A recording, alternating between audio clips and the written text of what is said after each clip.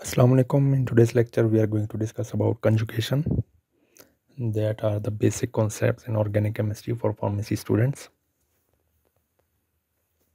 Basically, conjugation derived from Latin root that means link.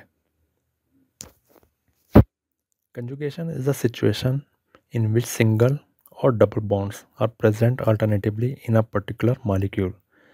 So those molecules that possess this situation so those molecules that possess this situation are termed as conjugated compounds.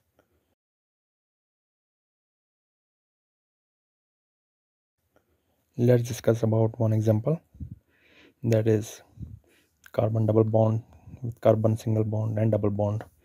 So you can see there are alternate single and double bond. So whenever this situation arises where, where single or double double or triple bond are separated by a single bond is termed as conjugated compound. So in this example 1 4 butadiene is conjugated compound. Now let's uh, say uh, see another example that is 1 4 pentadiene It is non-conjugated compounds. Now let's discuss about conjugated system. Conjugated system are two type of the system. One is the localized bond and another is delocalized bond.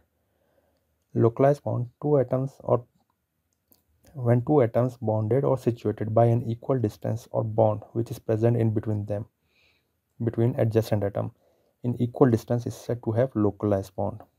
Let's say um, this example. Carbon carbon single bond alternate to h each other or a sigma bond hbr or methane. These all are example of localized bond now let's discuss about delocalized bond.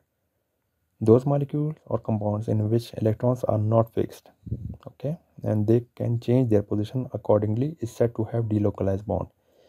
Now consider this example 1,3-butadiene. In this CH2 is double bonded with another carbon, then single bond, then another double bond. So delocalized bonds are those bonds that have the tendency to change their position. So one of the double bond from the first carbon may move towards the second carbon okay? And another example in the benzene ring benzene ring can change their inside bond that is a delocalized bond.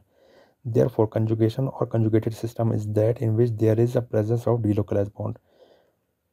In a condition that double bond are alternate to single bond means whenever we, we can say this compound is conjugated or not so double bonds must alternate to single bond okay any compound that possess more than p orbital 3 p orbital is said to have conjugated system.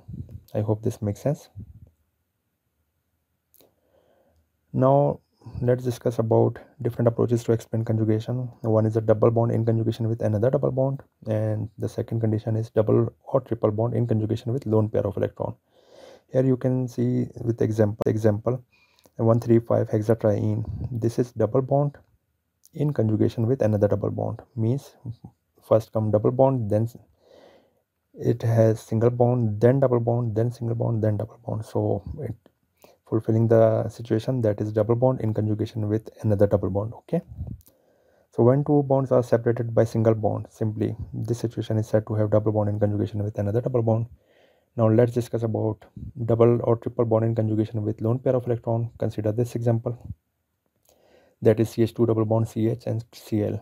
So here is a tendency that lone pair of electron that is present over chlorine might move toward the carbon atom okay? And this carbon atom in turn that is the double bond will move towards upon carbon atom. So chlorine get positive charge and the carbon get negative charge okay? So this is the situation in which double or triple bond in conjugation with lone pair of i hope this makes sense thank you very much. Keep subscribe our channel. Allah hafiz